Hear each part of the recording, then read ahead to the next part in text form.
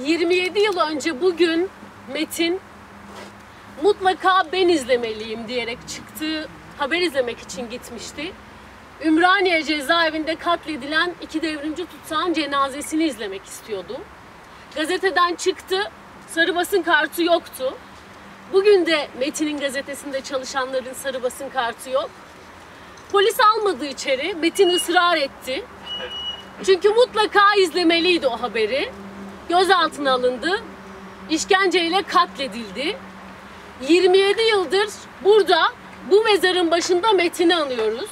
Türkiye seçimlere e, ağırlaşan e, baskı, gözaltı ve yeni sansür yasalarıyla e, giriyor. Tüm bunların yanında Metin her durumda, her zor durumda gerçek hangi barikatın arkasında olursa olsun takipten vazgeçmemek gerektiğini söylüyordu. Zaten habere gittiği, e, o son habere gittiği zamanki tutumu da öyleydi. Dolayısıyla e, bu bize ağır bir sorumluluk yüklüyor ve biz bunu büyük bir coşkuyla da sahipleniyoruz. Onun bir kez daha altını çizmek isterim. Metin'in ve e, işini yaparken kaybettiğimiz bütün meslektaşlarımızın önünde saygıyla bir kez daha eğiliyorum. Bugün memleketin bence en acil sorunu adalet. E, Adaletsizlik ülkenin her tarafında boy göstermekte. Gerçekten de hepimizin düşüncesi bu. Hepiniz Metin'siniz. E, Metin'in düş, düşüşünün peşinde giden tüm gazetecileri, içeridekileri ve dışarıdakileri selamlıyorum. 27 yıl geçti. 27 yıldır Türkiye'de basın özgürlüğü konusunda bir gıdım ilerleme yok. Ee, Bugün hala cezaevindeki gazetecileri konuşuyoruz. Hala gözaltına alınan, e, yargılanan gazetecileri konuşuyoruz. Hala e, devlet tarafından e, hakları gasp edilen gazeteleri, gazetecileri konuşuyoruz. Ee, Bir sansür mekanizmasına dönüşen basın ilan kurumunu, RTÜ'yü konuşuyoruz. E, iddianameleri hazırlanmadan 6 aydır cezaevinde tutulan gazetecileri konuşuyoruz. E, evet ilerleme yok ama umut da var. Hala 27 yıldır evrensel yazmaya devam ediyor. Bu bir umut. Hala gazeteciler haber yapmaya devam ediyor. Bu bir umut.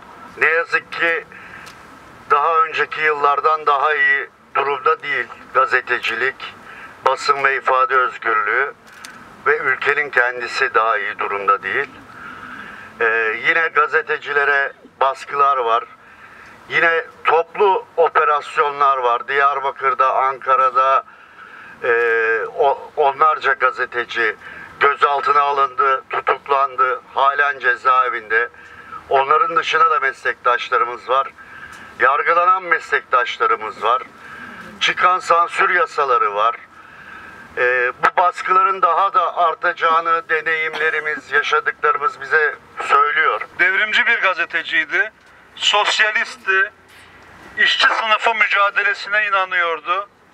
Gadre uğrayan Kürtlerin, cezaevindeki devrimcilerin, grevdeki işçilerin haberlerine adadı koca bir ömrünü. Ve onu katlettiler. Aramızdan aldılar. 27 yıl oldu. ne Metin Göktepe'nin ardılları ne de Metin Göktepe'nin gazeteci e, yol arkadaşları, gazetesi ve parti sustu. Ne de biz mirasçıları sustuk. Direnmeye, hakikatleri topluma ulaştırmaya devam ettik. Türkiye'nin Türkiye tarihinin en büyük kara lekesi susturulmaya çalışılan basın, katledilen basın emekçileri ve sansür yasası hala devam ediyor. Bugün hala sansür yasasıyla boğuşuyoruz. Bugün hala hakikati çarptırmaya çalışanlarla yandaş basının iktidara göre haber yapmasıyla haber haber alma hakkımız engelleniyor. Ama bir hakikat de var ki özgür basıl gereleği susmadı ve susmuyor. Hakikatleri yazmaya devam ediyor. Sevgili Metin, asla umutsuz değiliz ve iktidardaki kötülüğe bu karanlığa rağmen asla umutsuz olmayacağız. Bu ülkede Metin gibi gazeteciler yaşarken Metin Göktepe gazeteciliği diye bir kavramı bütün gazetecilere armağan etmiş bir gazetecinin mezar başından bugünün adına gazeteci diyen gazetecilik kavramını kirleten, iktidarın borazancılığını yapan kişilere ey borazancılar bu ülkede Metin Göktepe gibi gazeteciler vardı, hala var bundan sonra da olacak.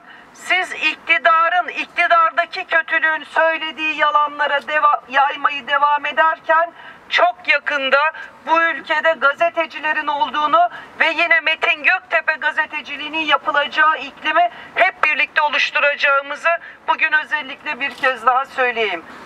Bugün 27 yıl oldu bu kötü günün üzerinden geçeli. 27 yılda çok şey değişti ya da hiçbir şey değişmedi. Değişmeyen iki önemli şey var. Bir, Metin'i katleden zihniyet halen iktidarda ve halen insanları katletmeye, hapsetmeye, aptal saptal gerekçelerle suçlamaya devam ediyor. Ama daha önemlisi değişmeyen bir tek şey daha var.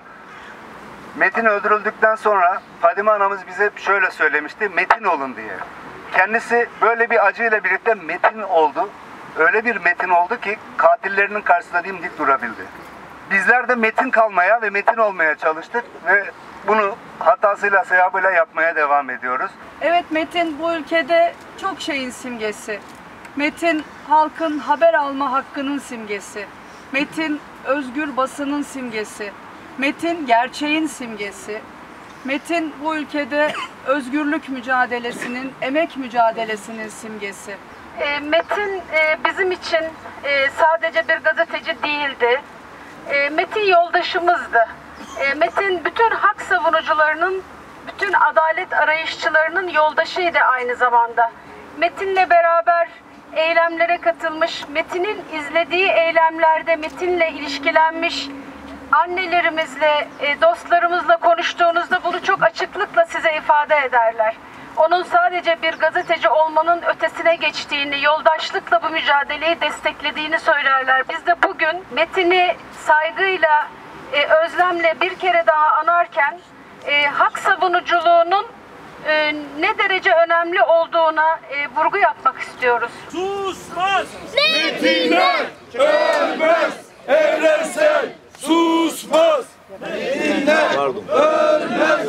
Evrensel susmaz!